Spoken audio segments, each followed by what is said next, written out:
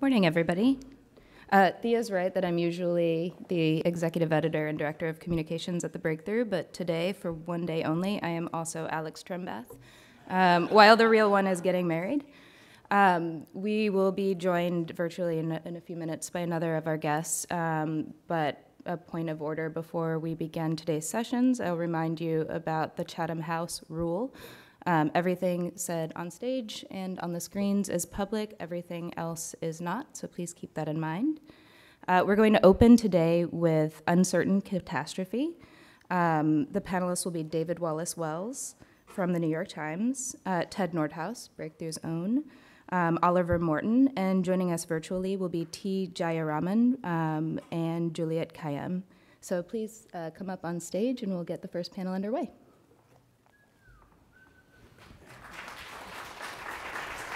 Thanks. Should have gone last if you have all this stuff down. That, that, that would be, yeah, no, no, that, would, that, would, that would show planning. And people don't want planning, they want spontaneity and um, all that other good stuff, which we will undoubtedly provide in large amounts. Good morning, everybody. Um, thank you for bringing your energetic selves down um, to this opening session. Um, there used to be a satirical um, TV show on um, British television called Spitting Image, which featured Rabelaisian cartoons of politicians and other public figures. And one of the nice running jokes about it was at the end of the credits and production credits and everything um, in every episode came the line, based on an original lunch with Martin Johnson Naird. And that was just great. Actually, I just completely screwed the guy's name. But the idea based on an original lunch by. So we thought we'd see if we could go further than that. So this is our first, I think, breakthrough um, uh, plenary session, which is based on an, on an original Twitter storm by um, many of the people um, that you will be seeing on our screens and on our panel. Or if you're seeing everything on screens, that makes no sense.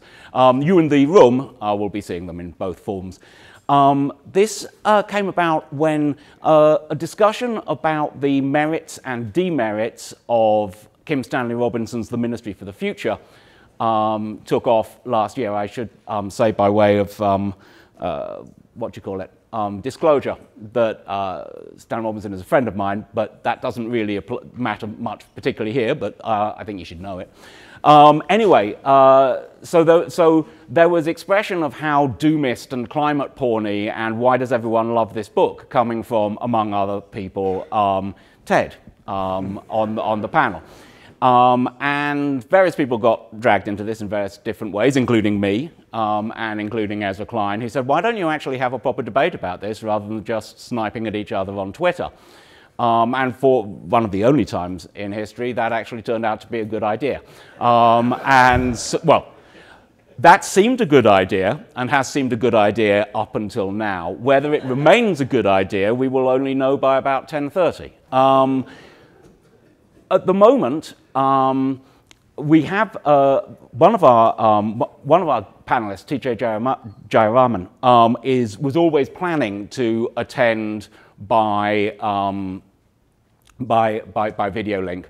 Uh, unfortunately, uh, another of our panelists, Juliette, is also um, due not to uh, insurmountable distance, but just the fact that the airlines are screwed up, um, able to only attend by distance. I'm going to try and make sure that that doesn't matter too much, and I'm sure that they're going to give great brief presentations um, and that they're going to be able to fill in. But it does mean at the margins that I'm going to uh, think there's a particular onus on you guys um, to keep the uh, energy up um, as we move into a more general discussion. Um, and I should note, incidentally, that I will, by and large, be taking attention paid to laptops and phones as an indication that you really, really want to speak and will be coming to you in the, in, in, in the questions period. Um, the other thing I wanted to say briefly before the questions period, those of you who have seriously done the homework and read the whole two paragraphs of introduction to this panel will notice that it is slanted in a particularly and understandably breakthrough-ish way. Um, uh, and if you didn't, um, uh, if you didn't read that far, I think the, the, the gist of that is cat catastrophism is quite bad, um, and rational discussion of things is, is very good. Um, and if you want to move beyond my crude caricature of that, uh, you don't have to, you are the people at the dialogue. You can express any views on how catastrophic or otherwise you feel about these things. You don't have to be good, eco- I mean, I'm not quite sure I know what a good eco-modernist is compared to any other eco-modernist. You don't have, there's no party line in the discussions here, despite what the um, framing might suggest to you. So bring, bring whatever you want to bring when we get onto that bit. Um, but for now, um, are we ready to bring in TJ? Okay, well, um, the order of this is run roughly in the order of the original um, of the original contributions to the Twitter thread. So we're going to start off with TJ Jayaraman, um, who is right there. That's terrific. Technology works. Yeah, now that was a that that was really stupid, wasn't that? Was completely rookie. That's like trying. Uh, it's like trying to control the blinds at a solar geoengineering meeting. Always guaranteed to, to, to screw things up. Do we now have sound? Yeah, it does look. Yes, we do. My work here is done. Thank you very much. Okay, so uh, thank you very much, and. Uh, uh, it's a pleasure to be here at the dialogue. Uh, thank you, Breakthrough Institute. Uh, I must speak, uh, you know, even though five minutes is uh, uh, short and valuable, I'm going to spend some few seconds expressing my sense of shock and dismay at the ruling of the US Supreme Court on abortion rights. Uh, it's uh, it's uh, not a good day for progress anywhere in the world. It's not merely a domestic uh, legal issue of the United States. It has uh, huge ramifications. Uh, we will begin to unpack them slowly over time, but it's also good to be reminded that not everything about the world is indeed climate. So uh, that is unfortunately a very poor attempt to draw something of a silver lining out of this very dark cloud. So now to the subject at hand. One of the problems with uh, uh, global warming that is perfectly uh, unique to it, especially at this scale, is that it is a global collective action problem. The atmosphere is a global commons. Notwithstanding James Hansen, carbon dioxide is not a toxic substance. Carbon dioxide is both essential to life in the world, but to excess, it becomes a problem. So we have a limited global commons that has to be shared and the only sustainable way that uh, I would argue that it can be shared in a sustainable way is to have a share that is equitable. Unfortunately, this has been very difficult. And uh, despite the United States being the leader in taking, uh, ratifying the UNFCCC, subsequently has fought shy of the implications of this fact, of this very simple and elementary fact. As a consequence, we are now faced with this extraordinary situation that a country perhaps that is the best equipped scientifically to understand global warming is seen widely across the world as the leading laggard when it comes to taking action. So we have this extraordinary situation of the uh, the scientific firepower to understand global warming that resides in the United States and derivatively in uh, what is known as the developed world, while at the same time, a sense of desperation driven by the political uh, difficulties of getting global climate action going in these countries. And this sense of desperation is leading to this catastrophism. So the casualty in this is something which is intrinsic to science, namely uncertainty. The idea that science delivers certainty is something that has been embraced for all the wrong reasons uh, in uh, the environmentalist discourse, especially in global warming. So somehow we see the future with a sense of deterministic inevitability and uh, are unable to provide room for the fact that a global warming is a problem of anthropogenic origin. And said, therefore, it depends on human behavior, it depends on human action. it could go badly. There is no guarantee that we will succeed. But at the same time, there is uh, no reason to think that it need necessarily end badly. So we are left with this very paradoxical situation that there is a three-way uh, sort of concordance of the most unfortunate kind. The heights of climate denialism, the scientific firepower required to understand global warming, and the brooding sense of catastrophism or the fact that there is nothing we can do to stop the worst from happening all arise from the same society, from the same uh, socio-economic and cultural milieu. So I'll stop here and we can take up other aspects as we go along. Thank you. Thank you very much, TJ, um, and for, for, for, that entire presentation, um, including its preamble. Um, Ted, um, I would say normally that it's lazy to say that someone needs no introduction. Um, Ted is a well-known Twitter troll um, who also has some sort of, I think it was described to me the other day as a cult um, devoted to um, the worship of the atom somewhere in the western United States. Ted. Thank you. Uh, that's the best introduction I've ever got. uh, thank you. So, um, uh, and thanks, TJ, uh, for starting us off. Um, and as Oliver noted, uh, this, this um, uh, whole panel did sort of start um, with a, what my wife calls a tweet fight. Um, she goes, you're tweet fighting again. Um, but um, there's actually a backstory to that backstory, uh, which is in the spring of 2019, our friend, a mutual friend of many of ours, Paul Robbins at the University of Wisconsin, asked me to come up and help him raise some money uh, at a little fundraising dinner he was doing uh, up in Sonoma. So I kind of went up there, and I didn't know it at the time, but Paul and Kim Stanley Robinson are friends, and Stan was there as well.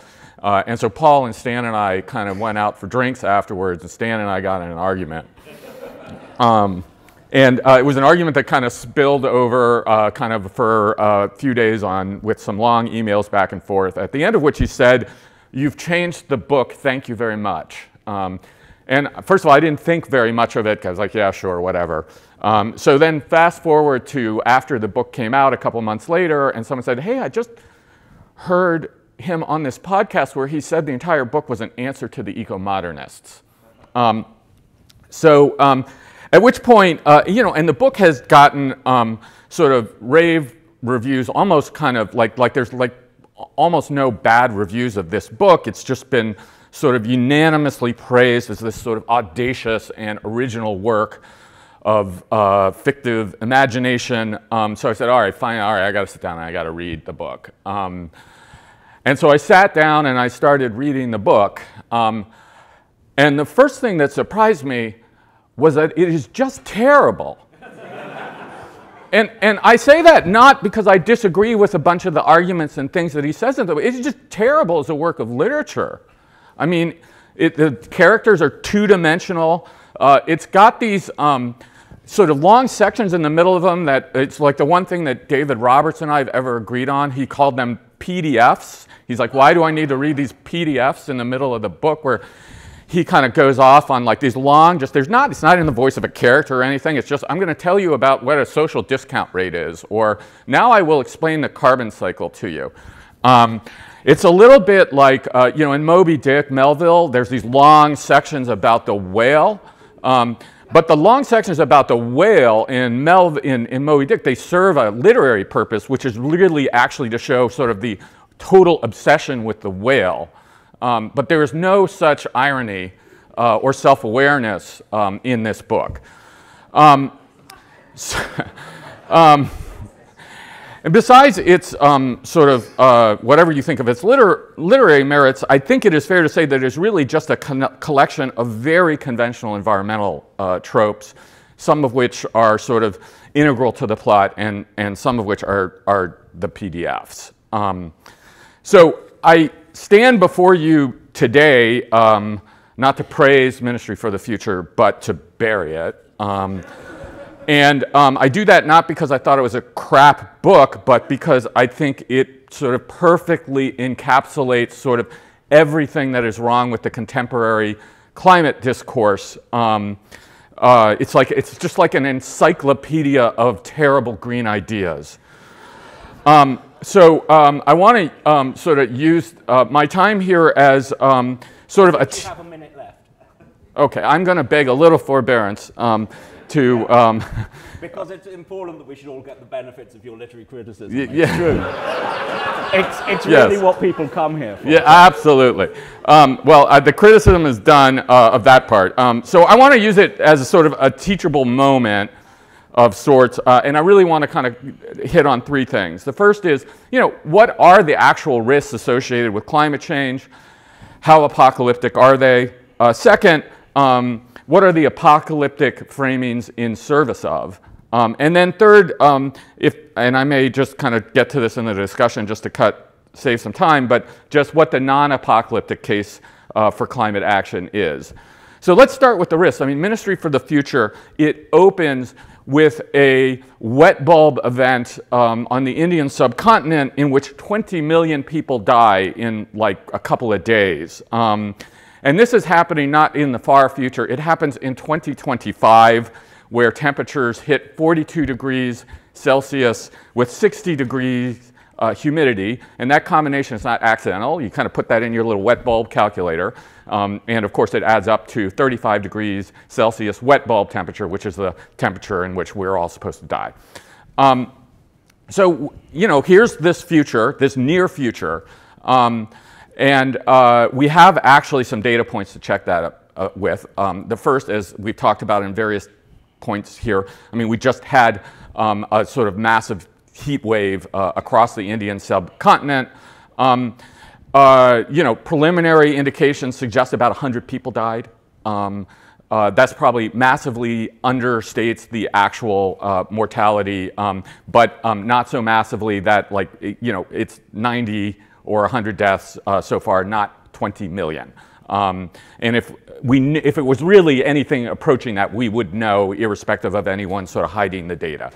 Um, secondly, um, uh, you know, heat mortality, as we talked about in the heat, it's falling. It's been falling. It's fallen dramatically uh, all over the world, including uh, across uh, India for many uh, decades. Um, uh, and third, if you actually go and like look at the literature on when temperatures on the Indian subcontinent might sort of approach these wet bulb temperatures, even under RCP 8.5 at the end of this century, that would be a, maybe a four times in a, in a century uh, event. And that's not 20 million people, that's just the dying, that's the temperatures. Um, uh, that assumes that nobody still, you know, we don't know if everyone will have air conditioning or various other ways that you might manage uh, those sorts of temperatures. And we also know that RCP 8.5 in these very far five, six degrees of warming at the end of the century is not um, particularly likely um, uh, or, or plausible at this point.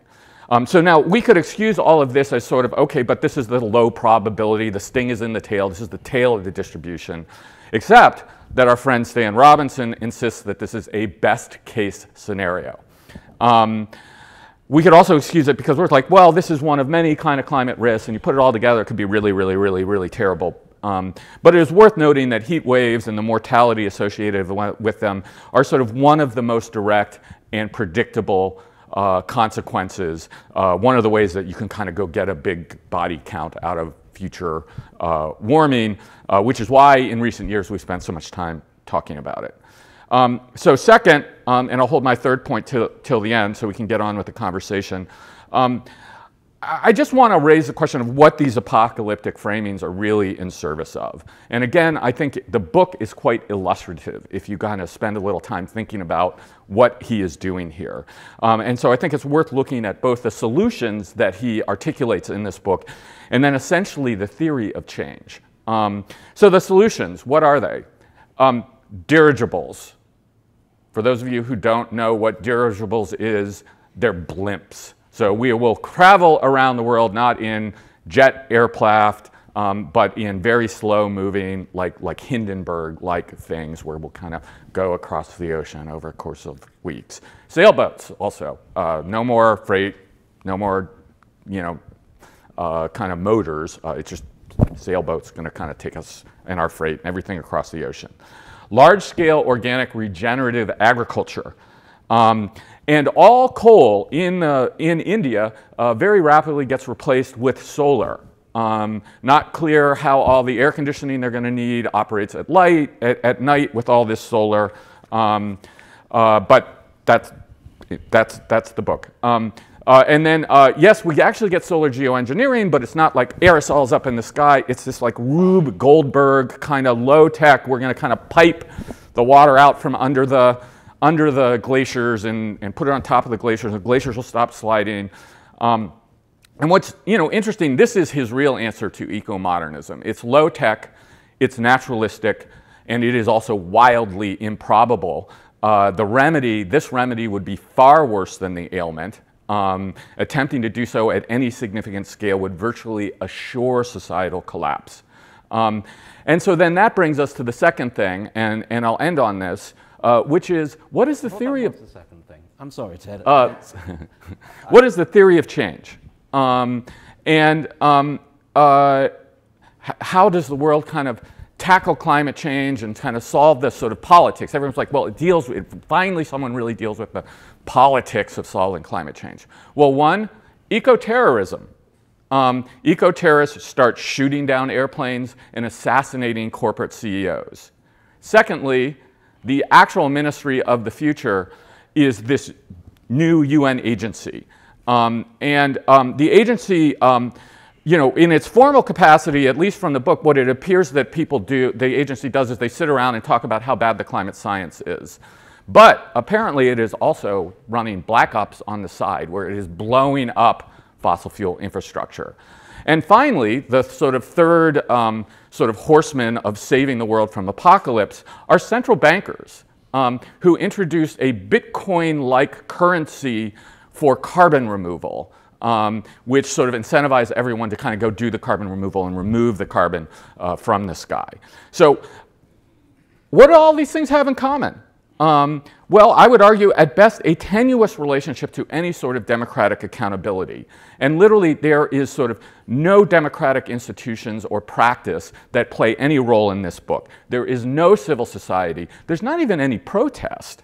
Um, so you put these things together and what do you get? You get an improbable apocalyptic fantasy in service of naturalistic solutions um, that can't work rendered in this sort of sciency sort of precision that a lot of science fiction does, where they sort of show you how technically uh, kind of proficient they are. Um, and tied, I think most importantly, uh, to an implicit threat, which is do what we say or stronger measures will be necessary. So on that note, I will end my remarks, and I look forward to hearing from the rest of the panel. Thank you.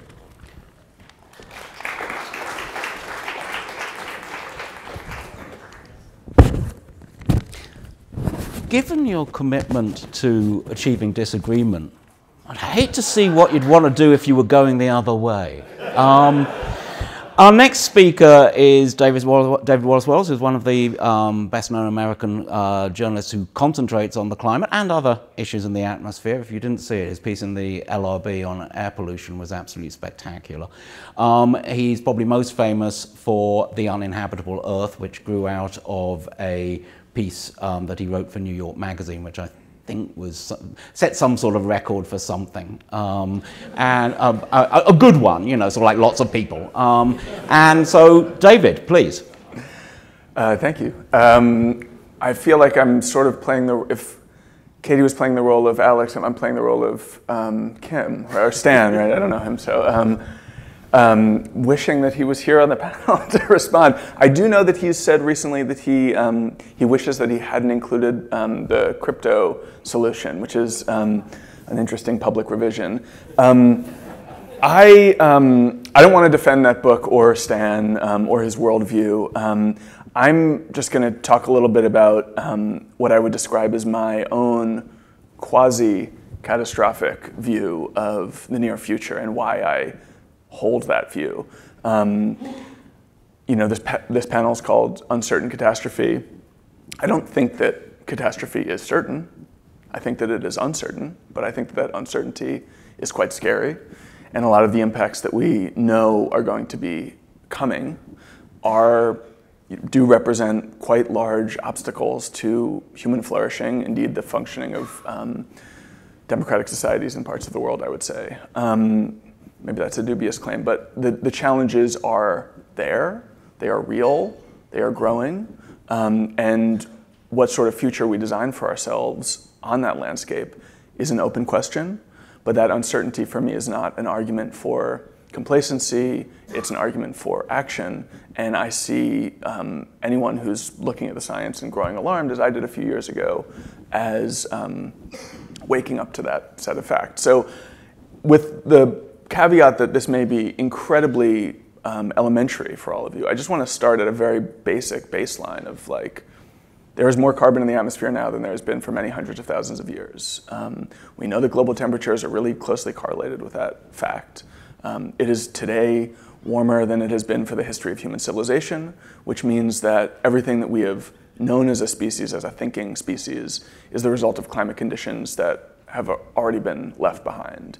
And we can see the scale of that transformation even today at one point, depending on who you ask, 1.1, 1.2, 1.3 degrees. Um, almost everywhere you look in the, in the weather. Now, of course, there's weather variability. Um, natural disasters long predate the, the phenomenon of climate change. But we are now regularly seeing you know, things that are described as multi-million year events taking place in the world today. Um, five 500 year storms in Houston in five years, which is, you know, if you take that term seriously, which we shouldn't anymore, but if you do, it means literally millennia of extreme weather compressed into half a decade, um, concentrated in, in one city. Um, these are, even in the wealthy, well-prepared parts of the world, they are challenges. They are they can be lethal challenges, and they impose suffering in many sublethal ways too, which is something I wanted to pick up on maybe in the discussion later. That when we talk about heat impacts in particular, but other impacts as well, it's not just the most extreme things that we have to worry about. This is a spectrum of suffering. People die well below 35 C, wet bulb temperatures, and if we can take action to limit that suffering and limit that death, that's very much for the good. Um, now, it's important to keep in mind. You think, um, you know, Houston, five 500-year storms in five years. Houston's still standing. There are millions of people living there. Most of them are um, understanding their lives as um, normal um, even if they are also being affected in various ways by the climate changes. And I do think it's important, um, not just because we're here um, as part of a breakthrough dialogue, but in general to understand that climate impacts um, represent only half of the story here, and human response, human adaptation, human resilience um, is the other half. And we don't really know yet how those things will go together. Um, we don't know what vulnerability, what human vulnerabilities climate impacts will reveal beyond the direct um, devastation and suffering they impose. Um, but I think very important to keep in mind, personally for me, and I think it's been a theme throughout um, this whole conference, is that the only standard, um, the standard to apply in judging the state of the present, the health of the present, the viability of the future, um, and how much optimism we should have about it or how much catastrophism we should have about it is not simply whether, in aggregate, things are inching forward and making a slightly better world. The past is not the only standard with which we can judge the present or the future, and we have to apply um, we have to understand that there are many other counterfactuals unfolding already and certainly unfolding into the future, and do what we can to move ourselves as close to our optimal future as we possibly can. So, thinking about, you know, even asking the question like um, about catastrophism sets the baseline at apocalypse in a way that I think is actually quite unhelpful. Um, but measuring from a baseline of an optimal future, we might have imagined or could imagine today if the world took um, really dramatic action. I think we're falling well short of that. We will be imposing considerably more suffering, especially in the global south, um, sub Saharan Africa and South Asia in particular. Um, those places are not going to be literally uninhabitable by climate change on timescales that we should be making policy choices on, but life will suffer um, and be much more difficult as a result of many of these changes. And whatever we can do to bring ourselves up off of um, that, you know, line of failure and towards a line of an optimal future, I think is um, worth doing, and is a the, the gap between those two things is genuinely, at the moment, given where we are, I think cause for alarm, and that's why I am alarmed about it and want to talk about how bad things could be and how much better they could be if we'd made different choices. Thank you very much indeed, David. Um, the last speaker is Juliette, who is the author of this um, very handsome book. Um, yeah, yeah, that's a good design. Thank you. Um, and um, is, uh, is professor of international security studies um, at the Harvard Kennedy School, um, I think the Belfer professor, and sits on the boards of many people who are important. Um, and uh, less um, concerned directly with climate issues and more, as the, book, as the book's title shows, with the question of how people respond to disasters and stresses um, which uh, come at them unawares. Um, Juliette. One of those stresses included attempts to get there. So I'm very sorry. I uh, uh, seven later, I, I, I uh, seven hours later in the air Boston. So I apologize for not, um, and really grateful to uh, and and thrilled about David, whose work I read and and learn, um, if only because ended talking about human agent. In fact, to to talk about catastrophe and disaster as that we can measure the the sort of offset humans going to do is where my and where I think uh, uh, what I write about, but also disaster management world is. That's the world I'm in the world. Uh, call right side of the boom. So, you know, the boom is cyber attack, but in this case, disaster. Left side of is considered all the things that a lot of going on in terms of mitigation and stopping that bad thing from. And then there's people like me think about what happens at that moment. How can we uh, for success based on agency? And sometimes it's helpful where the words disaster and come from. Uh, uh, when we talk an agency disaster, this, uh, which is not, or an aster, which is of ours, right? And so it, it's a sense in the past was that disaster random and rare, uh, and uh, there was no human agency. How you measure disasters was because of a, or describe disasters was because of a alignment. Catastrophe that same language, right? So there's no way for uh, uh, to give certainty uncertainty, just to go back to the of this session. So what I as a certain, and the title is The Devil Never Sleeps, that I actually, after 20 years, I'm giving up on, uh, um, giving up is a little strong, uh, risk calculations to me less than figuring out what can we learn from high consequence events. My standard of success on the, the boom is can be things be made bad. And it's a good standard of because I can't make things good right now. And so where field is in terms of homeland disaster management, uh, trying to find the commonalities all of these disasters, in particular disasters, to see can I success on whether when of the boom I can mitigate so that you know the me and I tend to sometimes speak rather crudely, you know, a thousand dead worse than 100 dead, right? There's no way 100 dead is a good thing.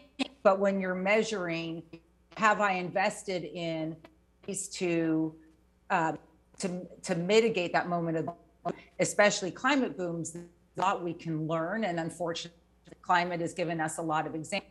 So shorthand is we're learning learn to fail safer. Don't talk about uh, that word does not come out of my because th- I just don't that world. I mean, it just is sort of a silly goal to get to. And resiliency is makes love it, and I love the idea of this future that's stronger and and and better ad- adaptive. I'm just between between then we've got a lot of things that we. So three quick examples of what work from climate um, disasters. Uh, so obviously, just an investment in systems can go far in terms of protecting populations uh, early. That is um, obviously warnings whether they're stronger because of climate, uh, but also in the midst of all the mad politics right now. Uh, had a, a, terrific story in the way these things are. Um, Surfside, which is a major condo in Florida uh, that went uh, that collapsed. Buildings don't collapse. This is a building that could contain the changes that were with the climate in Florida. Uh, there was an early alert system. Uh, the guard did not use it. Seven minutes does a lot to save people's time. You can a minute and you can do a lot to save uh, lives. Uh, and so alert systems. second, what we call stupid be mitigated. Stupid deaths are the uh, uh, because uh, not because of the incident itself, because of cascading. This, this, is particularly true in the United States now. Most people do not die from hurricane, die from water. They do not die from flooding. They die from carbon monoxide because resources aren't delivered. People put out their generators. Generators aren't functioning or they're not working right, um, and they die from carbon monoxide. And I know that as a disaster planner, I can begin to the harms of these overwhelming hurricanes by both training on generators. Uh, uh, those in country know they we do this, uh, but also trying to search the resources. Uh, so that's another lesson learned. Can learn to fail safer. That's because I'm running out of time. Is better engagement with communities to protect in that moment of need my book is a historical book to disasters and rethink them in terms of what worked because we never stories of what worked. Hurricanes is the best example for this. It overwhelmed government research. We tend to think of it as a good resource. One of the reasons is uh, by an effort called Occupy Sandy. Occupy Sandy was actually Occupy Wall Street reformed. All those people who we tended to think of as just protesters intense and what's uh, they have to leave Wall uh, uh, as Hurricane Sandy on board. It turns out uh, they have iPads. They're younger. They're bilingual, and they know their communities. the best um, adaptation FEMA uh, was to change their name. It's you can read about it by Sandy, and they went out to places that aren't often represented at the t- uh, and got information and resources delivered. That's why uh, we think of the Hurricane Sandy was relatively successful, less bad, as I say. So those are just some of the lessons we're beginning to learn, um, except uh, that uh, that success is just less bad at the um, so that's sort of where it is. Thank you very much, Juliette. Um, I'm going to ask, can we try and get Juliette on a better line for the, uh, no, we can't? Sorry? They're working on it. They're working on Audio? it, great. Okay. Um, so that, so, um, but I think we got, I certainly got, I think, uh, much of your message, and um, I'm sure that we'll be able to bring, bring out more of it in the, uh, in, in the Q&A. So in, in, in, terms of uncertainty, um, which we're, we're meant to be looking at, we now have 30 years of thinking about the climate um, in, in this context of anthropogenic change and danger. And I thought it'd be a useful um, clearing um, opportunity to find out um, from the panelists what they used to believe that they now do not in this subject. What have you, basically, what have you been wrong about? Because when we think about uncertainty, one of the things that we're trying to avoid is as uh, Ted was bringing out, is misplaced certainty, um, whatever that misplaced certainty is. Um, and so I'd be very interested in hearing. Um, I think we should probably go um, in order that people originally spoke. What were you wrong about, either about climate or climate response, in a way that you consider genuinely consequential? You thought something, and it turned out the world didn't work out that way. So, TJ. Uh, I think uh, uh, it does sound uh, a bit arrogant, but uh, I will up and say it, that uh, I am very unsurprised. Possibly because I have been in climate, very actively dealing with climate issues and climate policy only for the last 12 to 13 years. So that accounts perhaps for the fact that not that much has changed. But uh, I have a sense of the history because it uh, was part of uh, the task I set myself to see how this thing evolved. And uh, we could have predicted we got here. Uh, and I think uh, in India, amongst some of us climate analysts, that's, uh, you know, we were always sure this would happen. So let me give you an example. When Paris was being signed, uh, two of my colleagues from India and myself, uh, we issued a press statement saying that uh, at the rate of current emissions, the uh, this thing, the uh, carbon budget is going to be very rapidly exhausted. And by the 20s or 30s, you know, the numbers shifted a bit, uh, that uh, we would be reaching 1.5. At that time, because of the fifth assessment report of IPCC was the only thing available, and carbon budgets were not central to the story at that time, yeah, we were simply not listened to. People said, uh, you know, we just, it was like uh, throwing a stone down a bottomless well. But uh, right now, it is up there in the Glasgow Climate Pact, as they call it, that the remaining carbon budget is very limited, and that's going to be the real crunch that we are going to face. So I think uh, uh, like I, uh, my own point of view on this is that the fault lines have been clear for a very long time. Uh, right from the beginning, from the, uh, the way the uh, various countries reacted in the first five to seven or even 10 years after the UNFCCC was signed, the fault lines of today are clear. They are being reproduced the global situation outside of climate, the general air has considerably deteriorated in terms of cooperation. If you look at the UNFCCC and you look at the Paris Agreement, the way it deals with issues of equity and the fact that there is underdevelopment in uh, lack of development in large parts of the world, the contrast is striking.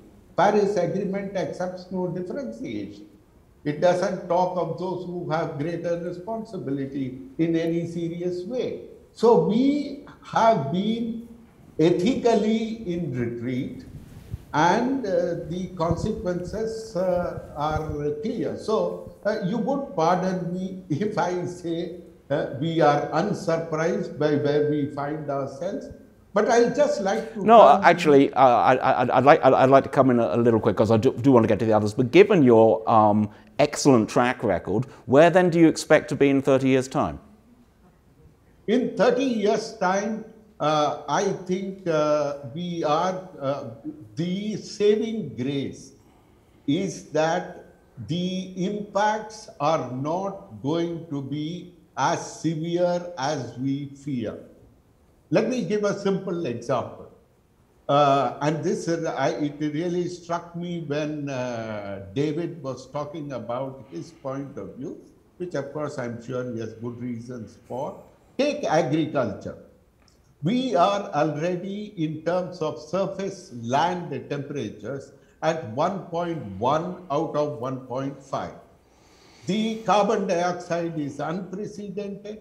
The, uh, the world is climatologically in certain parameters unprecedented in character. But I think the Ukraine war is a much more serious question for global food security than the climate.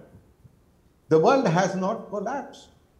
It, you know, the numbers may be off a little, but, uh, you know, Indians were not keeling over uh, along with little birds in the streets of Delhi or uh, Agra.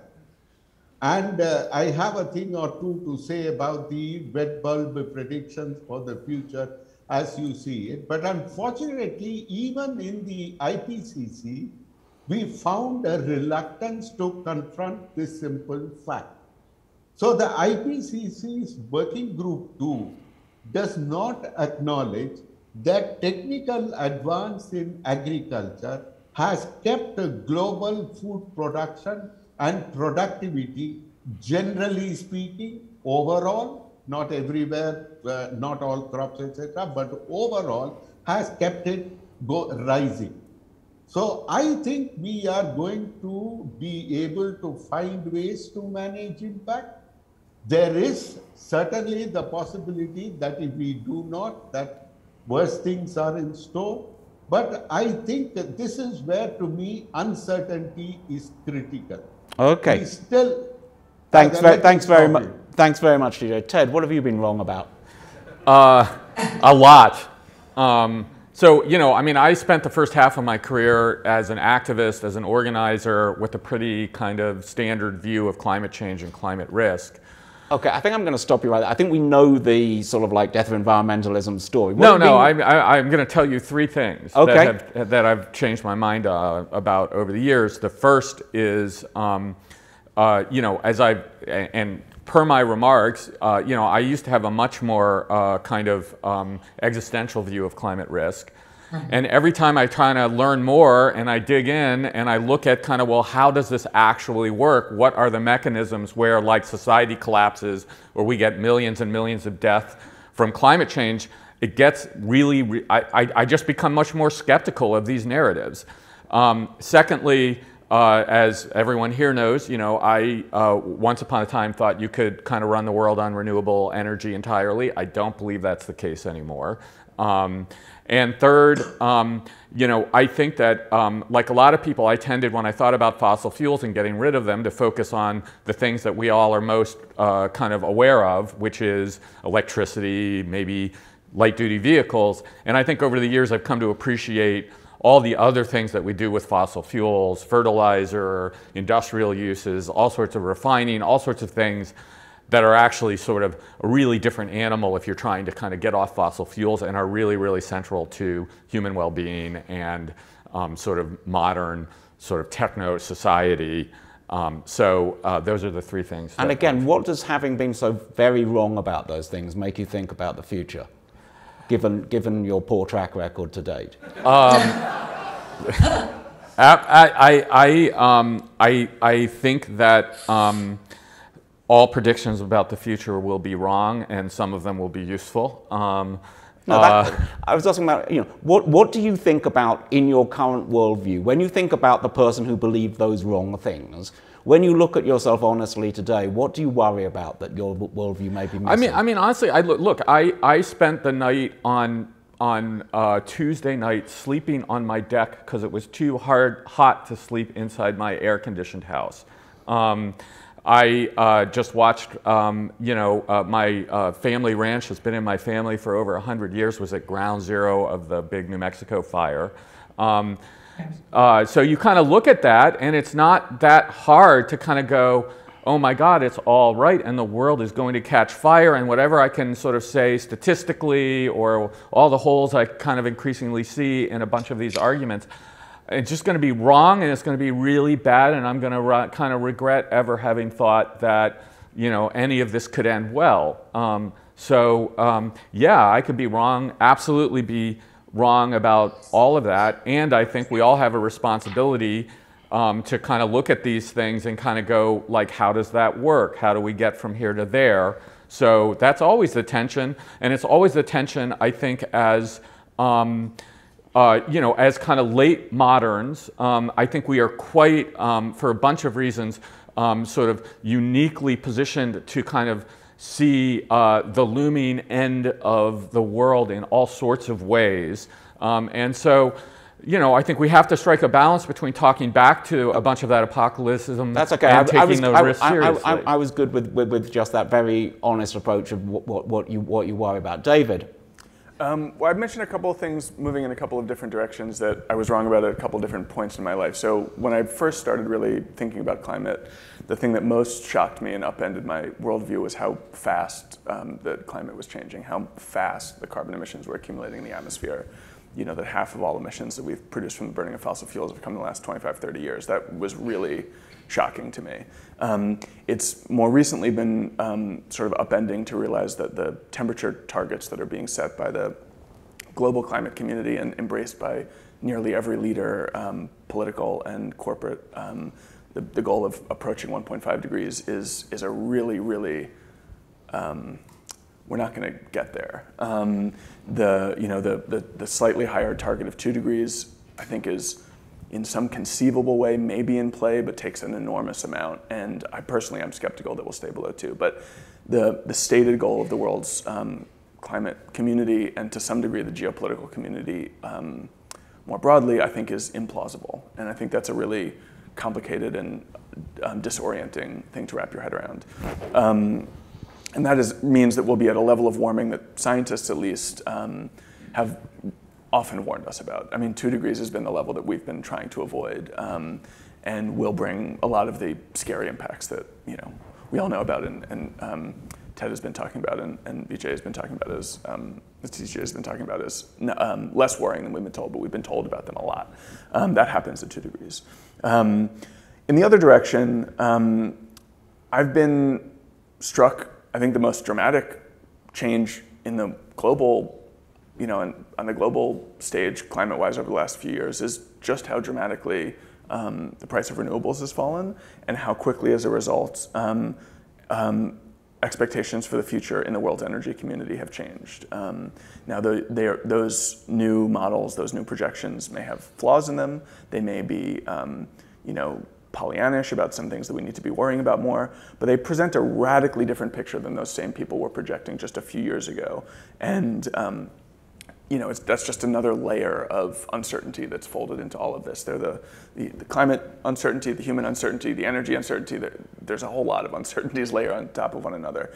And the thing that I've personally um, moved on, I wouldn't say I, it's quite um, something I feel like I've been wrong about, but it's something that I've thought a lot about since I published my book, especially, is the point I made in my opening remarks, which is that, you know, these climate impacts can seem total and overwhelming because they are quite large and imposing and threatening. Um, but there is also the human response story that um, will be unfolding as well. And we need to try to keep both of those things in mind, not assume, especially um, some lower levels of warming that we now expect um, than we might have feared a few years ago, not assume that the climate impacts are going to be um, all determinative um, but merely shaping the landscape on which we will be building our future. It may be a, a, relatively less hospitable landscape, a relatively more hospitable landscape, but it is just the landscape, and we have to figure out ways to live on it. And I think that that's, um, that's been a major shift in my own thinking over the last few years. And Juliette. Yeah, so how's that audio now? We took out the, the other piece. You guys can hear me better? Much. Okay, sorry about that. That must have been somewhere. Um, so I think two things that I uh, think about or have changed. I, mean, I started my career in counterterrorism and sort of you know trying to stop bad things from happening, and and had a very tremendous you know, big change in homeland security after Hurricane Katrina. Most of us in the field ended up being sort of all hazards focused. And I think I'd much, uh, in terms of the changes, is that uh, a little bit of what I talked about in the introduction, which is that that uh, uh, we are at a stage where measuring success uh, really does have to be measured in sort of, you know, the, the bad thing is going to happen. And can we invest the resources, not just the resiliency, but the resources at that moment um, to, to, to fail safer? I, I, that's a big change in terms of uh, climate just because I just think you know mitigation is too slow. We do have agency to stop it, but we're going to have a lot of years in which not a lot of years, a lot of decades and possibly centuries in which we're just managing disasters, and we'll get better at it um, with each one. The second one where I've totally changed on policy is at least in the U.S., but most countries are like this is is in disaster relief. Uh, for climate events, we have a structure in the United States under the Stafford Act uh, which um, basically pays people to because we feel bad for them that they live near oceans or in fire areas, and um, and uh, and congressmen demand it, where uh, where we're distributing public funds uh, to essentially uh, not have people behave better or recognize the changing earth. I would get, I mean, to be revolutionary, I would get rid of the Stafford Act at this stage. It was based on a notion of climate disasters as being random and rare. They are just not. And then what you want to do now is just drive disaster resources to, to either paying people to move, to manage retreat, uh, to, to requirements of what, where they can rebuild. Uh, we are just way too um, acquiescent to the sorrowful demands of those who are victims of uh, or survivors of climate disasters, and, and it's just a, it's just a waste of resources at this stage. So that would be my my if, if I ran the world, I would get rid of how we, we do all of disaster relief now in light of, of the changes that were the the, the the the continuous nature of disasters now. I think that's a very strong answer. I um, I would like to actually now I think go a little bit earlier to the um, audience because you guys have been, been here for a while, you've been listening to this, um, and I'd like to hear a few points from you. Do we have some Mikey type people? Um, yeah, Mikey type people, there we go. Um, up here and then over there.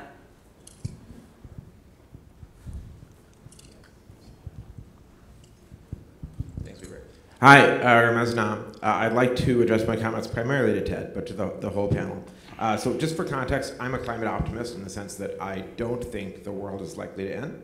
I think we're likely to stop warming on the current path uh, somewhere in the low twos, between somewhere between 2 and 2.5, probably not 2, but somewhere over there. I think uh, human adaptability is underrated. Uh, but I also heard in your comments, Ted, a, a, unwarranted certainty about things. Because when I think about these things, I recognize that at the level of emissions, the climate models predict a central estimate of 2.2 or 2.3 degrees. There's a spread. There's a bell curve of those that could be 3.1 or 3.2. And one thing that I was wrong about when I wrote my first book on this is I expected uh, much more in climate uh, rapid feedback loops, and now I'm less concerned about them, certainly at two. But at three, you start to get real risk of those, and we have a risk of, of running out of control of some of those. And then I'd, I'd, add a couple more things. One, in defense of Stan, who's also a friend of mine, the goal of fiction sometimes is to shock us and to exaggerate. And a wet bulb event that kills 20 million people in 2025 is exaggeration. Like, that's, that's almost implausible. But Chennai experienced a wet bulb temperature of 31 C. Uh, 35 C is the level at which everybody dies if they're out for six hours, even in the shade with a fan, not moving. The National Weather Service says 31 C is where you run real risk, people that are elderly or have health problems. 32 C, it gets higher than that. 33 C, it gets uh, extremely dangerous, is what the National Weather Service says. And it's plausible with one additional degree Celsius of warming in an extreme event, you could see that. Chennai has a population of 11 million people. So you could start to see hundreds of thousands of deaths or a million deaths by the 2040s. That's not at all implausible. Second, there's other things that I worry about. Uh, all coral reefs, we have had the belief for a while that at two degrees Celsius, all coral reefs would experience uh, bleaching events, something we basically didn't know about 20 years ago, faster than they could recover. And without some strong intervention, uh, they would pass away. The most recent papers with higher resolution models says at 1.5 degrees C, which we will hit in the 2030s, no doubt about that, unless we do solar radiation management, we will hit 1.5 degrees C in the 2030s. At that temperature, all shallow water coral reefs, the first 100 meters or so, will start to experience bleaching events more rapidly than they can recover and will go into terminal decline. 800 million people depend upon that for depend upon fish that are raised on coral reefs for protein. Uh, third, there's ripple effects. There are negative effects. The war, uh, Sudan and Darfur, was a resource war. Not sure I can call it a climate war. Maybe climate played a part. But that resource stress uh, led to 3 million people dying. It started a wave of migration into Europe that probably drove Europe's politics far more conservative. Uh, so there's a lot of ripple effects. I think as you get to, you, know, you go from carbon dioxide to temperature, you have uncertainties there. You go from temperature to ecological response, you have bigger uncertainties there. You go from ecological response to human societal response, you have deeper uncertainties there. So I believe we'll turn it around, even at 2.5 degrees C. Yeah. But I also see like real risk in all those scenarios as well. Thank you. Ross? Yeah, so thanks. Uh, works of fiction are designed to encourage thought and possibly action. And um, personally, I, I, hope that, that Kim designed this book uh, to get people to think because when I read it, I thought this book addresses a fundamental human need, which is certainty. Um, unfortunately, the outcome of the certainty that the book delivers is essentially stasis and regression, and, and probably a lot more suffering than they realistically portray in yeah. the book.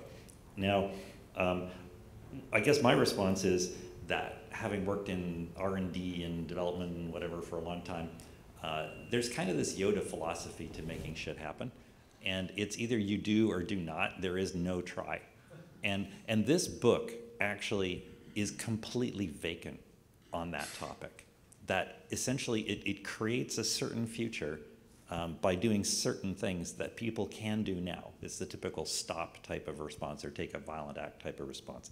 And I'm curious what you think about how you would blend uh, the uncertainty that is necessary in advancing technology, politics, et cetera, because uncertainty is distinctly uncomfortable for a lot of people. Yeah. But you need to go through the uncertainty and the scientific risk in order to get to the other side.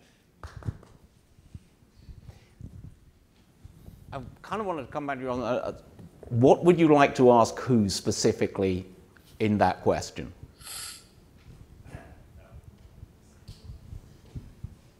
Sorry, my ask should have been more specific. So uh, I guess um, the panelists have responded about their thoughts on where things are uh, and where their own beliefs have shifted. So I'm asking, based on how your beliefs have shifted, what do you think is a reasonable course of actions to take that address the, the human type of thing that this book is talking about? How do you get people uncomfortable with uncertainty? You mean comfortable with uncertainty? Yeah, because I, I think getting people uncomfortable with uncertainty is part of, part, part of the difficulty. Um, I'd like, I think that's a very good question. I mean, but do you want to people to be comfortable with uncertainty? Is uncertainty one of the drivers of change or is it an obstacle in change? Um, and I think you can read that either way. Ted, you were particularly singled out for unwarranted certainty.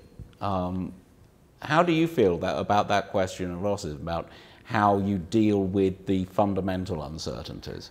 I, I mean, I guess my view, and I'll, I'll, I'll use it to answer both questions, um, which is, um, uh, you know, how do you kind of pursue a course, policies, of politics, whatever, that is robust to all of this uncertainty, uh, both in terms of kind of how exactly climate change with higher temperatures is going to unfold, um, and um, uh, and sort of what the various uh, kind of pathways are um, to mitigate it and adapt to it.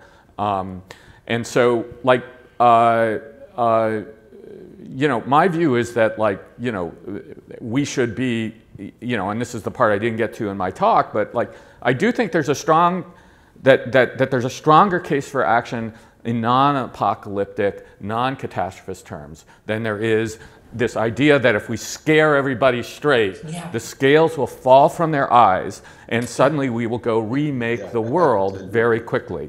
And that's I think right. that's just a absolutely failed. Um, there, the, the, there's just no evidence that this works, and lots of evidence that it's actually really counterproductive.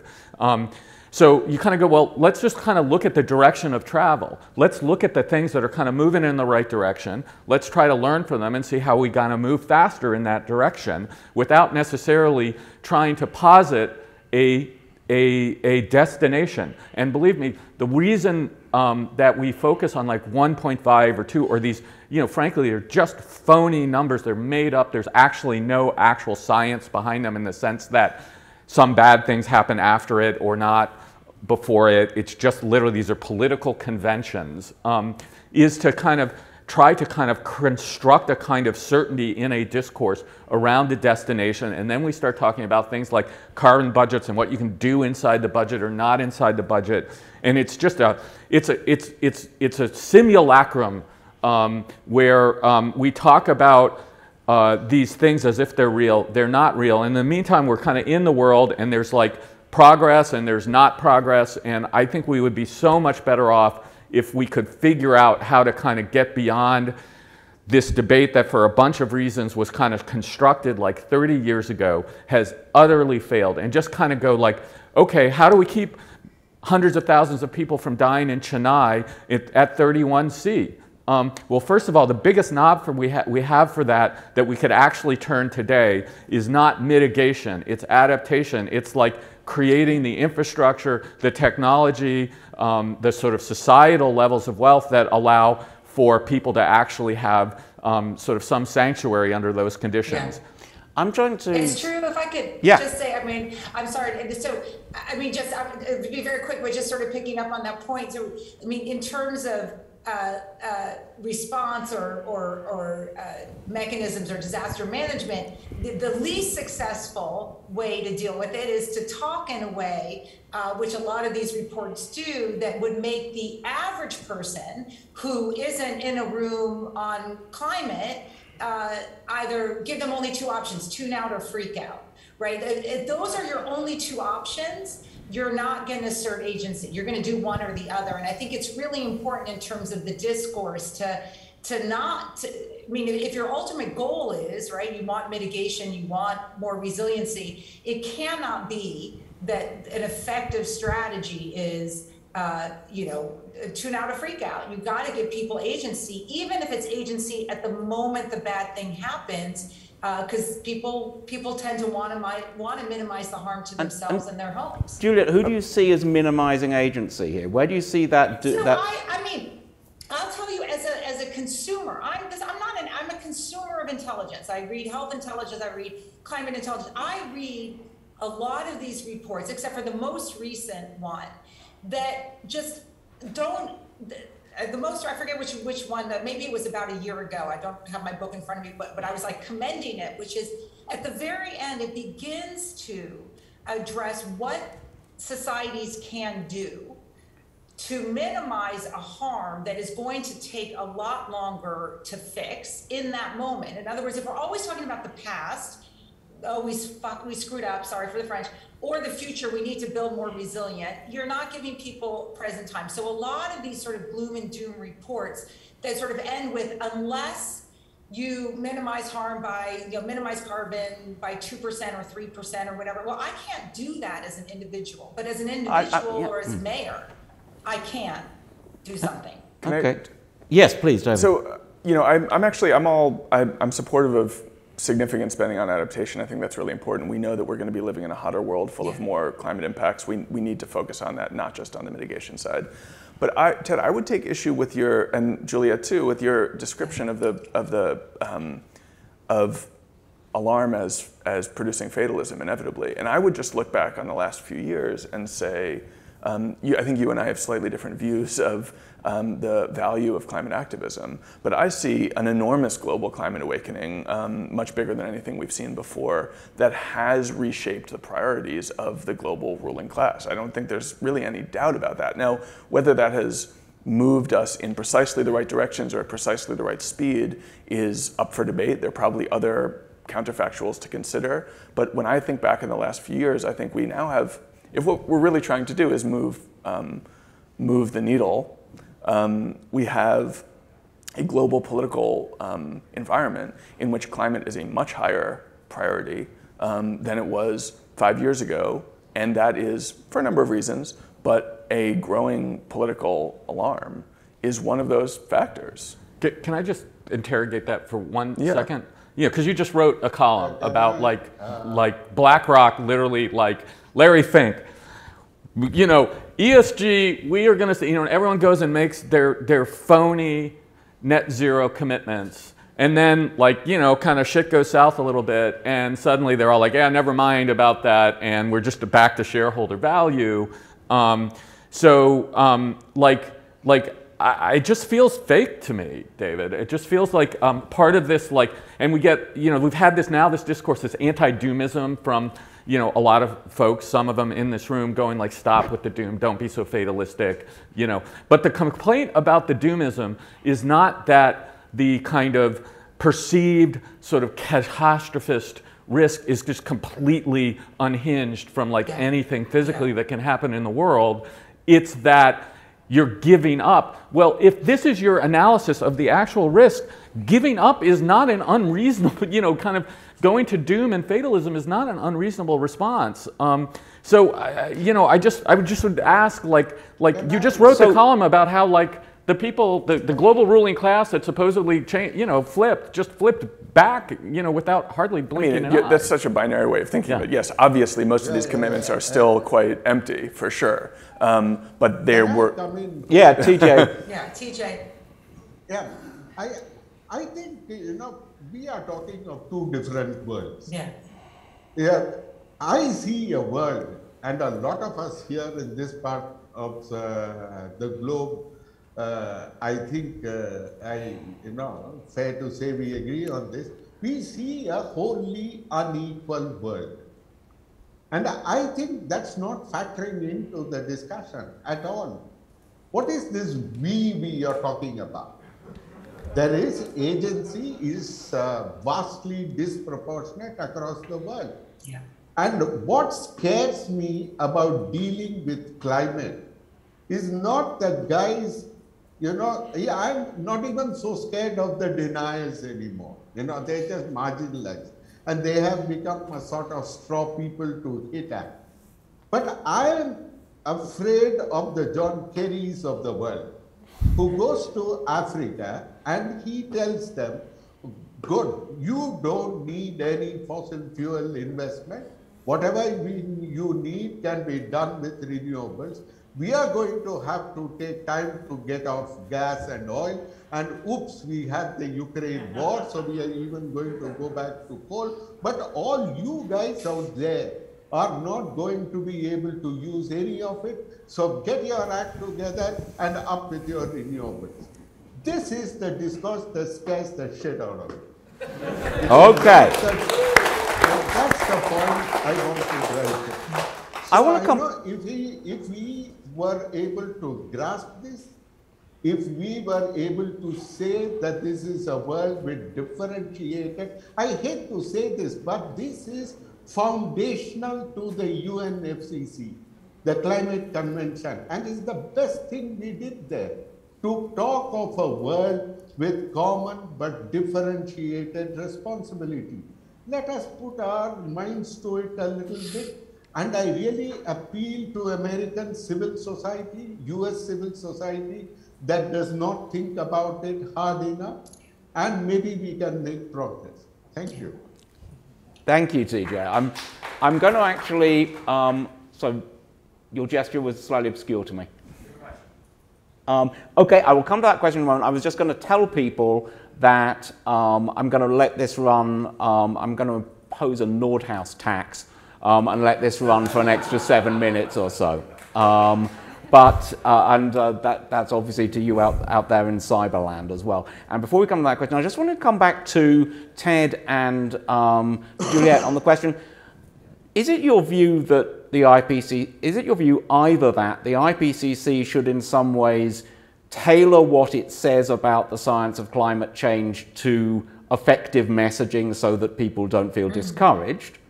Or is it alternatively possibly your view that the IPCC is already engaged in a corrupt op- operation which deliberately maximizes um, the catastrophism? Because I, I, that those No. were the two options that I seem to be getting there. So, Juliette, you're, you're shaking your head, so that's good. No, no, no, not not the latter at all. I mean, look, we're, we learned over time. And so, so if, if, you know, to David's point, you know, at, at one stage it was really hard to talk about response, you know, sort of response mitigation, that I'm going to measure success as fewer people dying in a, in a climate catastrophe. That, that will be success when it comes to climate change because we, all the, all the political focus had to be on mitigation because if you take your eyes off mitigation, then you're, you're, you're giving up, right? I think over time we realize that's a really silly way to discuss this. We're clearly, you know, too late. There's, there's so much going on. So what I'm saying is, and there, there,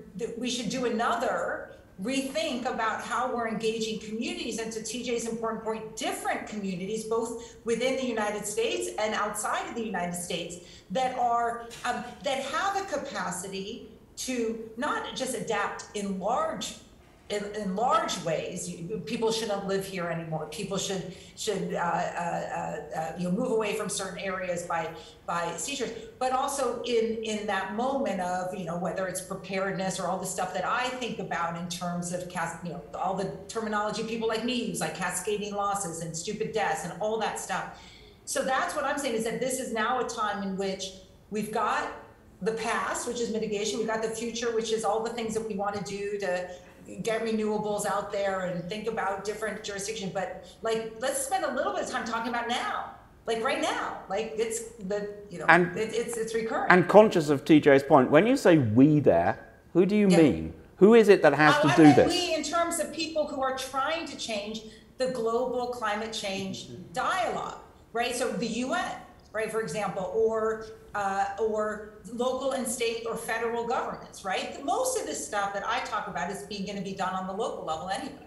Right. So, that, so you're, when, when you say we, you mean local government people. Yeah, I think that's right, and individuals and I, I, I mean, we kind of go to say it's corrupt is, is I, I think not how I would frame it. I, I would just say there are multiple perverse incentives to sort of overhype the risk. Um, and I think to some of the earlier conversations we've had here, I, I'm not, I don't think there's any, we or anyone who could actually decide exactly not to.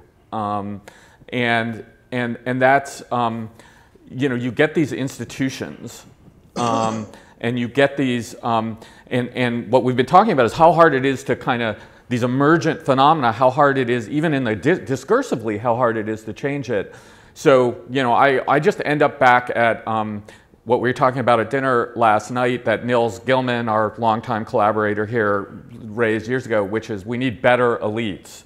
And I'm not sure what exactly that means in the context of IPCC reports, uh, but we need to do better. I think it means that, you know, be the better elite you want to see. I think that's what. Um, question at the back there that's going to be the last question. Hi, my name is Oliver Halkett. I'm 10 years old, and I'd Oh. like to ask this question for the whole panel. What can my generation do to help the climate? What can people born in the last 10 years, what can they do to help our climate and our world? Okay, I'm going to take that. That's a great question to end with. Um, you have a future as a, as a moderator. Is that what I do? Um, I'm going to go backwards around the panel to this. So, Juliette. Oh, I mean, I, I, you know, I have three kids too. This is the issue of your. This is the issue that gets them enraged and and and activated. So whether it is, uh, uh, uh, well, I guess I'll end with this. How I just ended the last one, which is. Don't minimize the influence you can have at the local level on this. We tend to think global or national and US presidents and John Kerry said, like there's a lot that you could do even now on the local level in terms of engagement, education, response, whatever else. So uh, it starts at home. Great. David. Um, well, I think the most important thing is to prioritize this um, challenge in all of it, in all of the um, facets that it represents, which is to say, both on the mitigation and on the adaptation side, to take seriously that um, the sort of um, the fundamental basis, the physical basis of our lives is changing, and we need to respond, and to make sure that those who are older than us, uh, you know, and more powerful than us, are taking those challenges seriously it's a political it's a political answer as much as a individual action answer. Is that, I'm just thinking, having not been a 10 year old for some time, is that, um, does that really, I mean, that seems to me to be a, a, a, to be a point slightly of powerlessness. If you if you're saying, well, you just have to grow up and do the politics.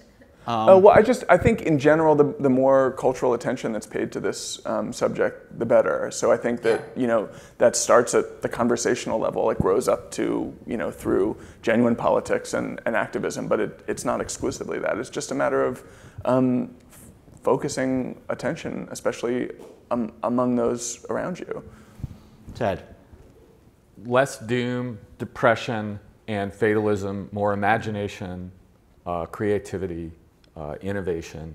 Um, and um, so again, you're saying imagine a better. You're saying yeah. to this generation, imagine a better future. Imagine the future you want, um, and go and, and, and go go create it. Um, and you have to imagine it before you can create it. Missing the actual power relations and the. I mean, imagine the future you want. That's is that really a helpful way to go? Absolutely. Okay. Okay. Um, I think it's where where all uh, kind of um, uh, sort of transformation, actually, of the sort we're talking about, happens. Um, and the idea that it's a, you know, that there's a pitched battle whose battle lines everybody understands and someone has to go win. I, I don't actually think that's how this works. Okay. We'll come back to your interest in winning later. TJ. Uh, uh, I want to say, uh, I want to say to my young friend, you know, that uh, it's very important for young people in the parts of the world where you live well, which is wonderful, and I think it should be that way. But you must understand that there is a large part of the world where young people like you, uh, boys and girls, are more scared about what will happen tomorrow or this evening than what will happen 20 years from now. So whether they get to eat, whether they will be safe, whether they will be sheltered, whether they will be able to go to school, whether they can breathe, this is still very difficult for a vast majority of young people like you across the world. So is there, is there something that uh, you, your generation will look for? I think the first thing your generation should look for is a fair world, a just world. I'm writing a little book on climate justice.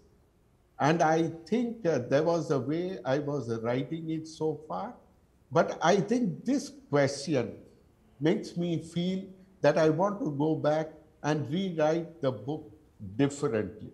So work for a fair world, work for a just world. Then we will know how to take the problems that are before us and we will figure out how to solve them and perhaps it'll, the we that I complained about, that is not real, that we can become real. So work for a fairer